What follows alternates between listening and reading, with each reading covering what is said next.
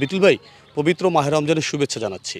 আমরা দেখছি আপনারা এই পবিত্র মাহের রমজানে তীব্র তাপদাহের মধ্যে একেবারে কোনো রকম অর্থ ছাড়া মানুষের মাঝে পানি সরবরাহ করছেন। আপনারা এই পানি সরবরাহ কেন করছেন? এর পিছনে কোনো উদ্দেশ্য আছে কি না ধন্যবাদ আপনাকে।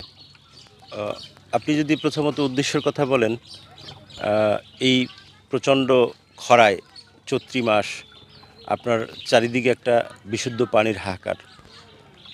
মানবিক দিক থেকে আমি মনে করি এখানে আমাদের শুধুমাত্র তাদের জনগণের যেই দুর্ভোগ, যে পানির, সেই সমস্যার সমাধান মেটানো ছাড়া অন্য কোনো আমাদের কোনো ইচ্ছা, আকাঙ্ক্ষা বা অন্য কিছু পাওয়ার আশা আমাদের নেই। কারণ দেখুন, এখানে ওইরকম ব্যয়বহুল কিন্তু কিছু হচ্ছে না যে আমরা এতটা বড় অর্থ দিয়ে এখানে তারপর মানুষের সেবাটা দিচ্ছি তাও কিন্তু না আরেকটি বিষয় আমরা জানতে চাই। পবিত্র মাহের রমজান চলছে আপনি এজন্যই পানি সরবরাহ করছেন। রমজানের পরেও কি এই পানি সরবরাহ চলবে কিনা?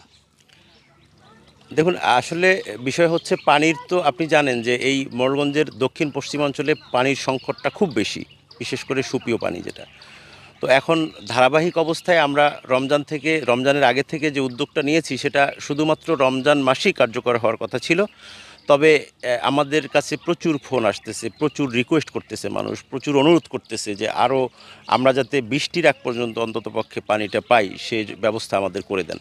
তো আমি আফরোজা সেলিমকে জানিয়েছি আমি সেলিম মিয়াকে অনুরোধ করেছি বা তাকে বলেছি যে পাবলিকের যেই পালস পাবলিকের যেই কথা, সেটা আপনারা একটু ভেবে দেখবেন।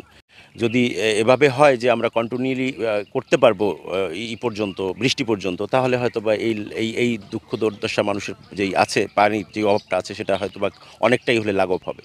আরেকটি বিষয় আল্লাহ সেলিম মিয়া ও তার সহধর্মিনী আফরোজা সেলিম, তারা, আমরা এলাকাবাসীর সাথে কথা বলেছি তারা বিভিন্ন সময়ে মানুষদের সহযোগিতা করছেন এবং তারা কোনো অসুস্থ মানুষ গেলে, যে কোনো ধরনের প্রয়োজনে গেলে তারা আর্থিক সহযোগিতা করেন এবং তারা আজকে পানি সরবরাহ করছেন।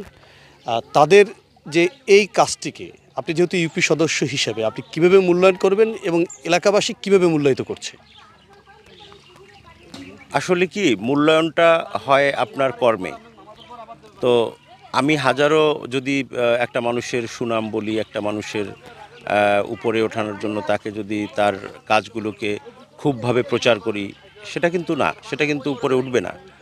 আপনাকে মনে রাখতে হবে যে জনগণের জন্য করলে মানুষের সেবা, বিশেষ করে আপনার এই মানব সেবা, সেটা যার যার ব্যক্তিগত মন থেকে আসে, সে করতে পারে। ধনাঢ্য ব্যক্তি এই অঞ্চলে আমাদের অনেক, অনেকে রয়েছেন। তারা কতটুকু করে, আমি আমি বিশ্বাস করি তারা ভবিষ্যতে করবেন এবং সেটা কন্টিনিউ থাকবে তাদের এই কাজগুলো, তাদের এই মানব সেবাগুলো, সেই প্রত্যাশা আমি রাখি। তবে আমাদের যিনি এই সাত নং ওয়ার্ড সহ আমাদের আট নং ওয়ার্ডে যে, শুধু যে পানির ব্যবস্থা তিনি করেছেন জনাব সেলিম হাওলাদার সাহেব এবং তার স্ত্রী আফরোজা সেলিম, তেমনটি না। আপনার, তাদের আসলে কি, তারা মিডিয়ায় ফোকাসটা হতে চান না। তারা চিন্তা করছেন যে, আমরা যেটুকু করতেছি, এটু, এতটুকু আমাদের একটা ইসলামিক দৃষ্টিকোণ থেকে তারা দেখে যে হয়তোবা যে আমি মরে গেলে হয়তোবা আমার এই সবটুকু আমার সাথে হয়ে যাবে। তো এই- এই- এই জন্যে অনেকটাই তারা গোপনে গোপনে করছেন। আপনাকে অনেক ধন্যবাদ। আমরা আশা করি আপনাদের এই মানব সেবামূলক কাজ জনকল্যাণমূলক কাজ যেন অব্যাহত থাকে। ধন্যবাদ সুজন ভাই ধন্যবাদ সাত নং ওয়ার্ডবাসীকে আমি আবারও ধন্যবাদ জানাব যে তারা একটু হলেও, কষ্ট করে হলেও একটু রাস্তায় হেঁটে আমরা একদম ঘরের সামনে পানি দিতে পারি না। ধন্যবাদ জানাচ্ছি সিপিপিকে যে তারা, আমি যখনই বলি তারা এই সহযোগিতাটা আমাদের করে, অন্ততপক্ষে মাইক দিয়ে ডেকে ওই লোকজনকে নিয়ে আসে। নিয়ে এসে পানি দেয়। আর ধন্যবাদ আমি সর্বশেষ দোয়া চাচ্ছি আফরোজা সেলিমের এবং আপনার সেলিম হলাদের তারা অসুস্থ রয়েছেন। সাত নম্বরবাসীকে ধন্যবাদ। আপনার চ্যানেলকেও ধন্যবাদ। আল্লাহ হাফিজ।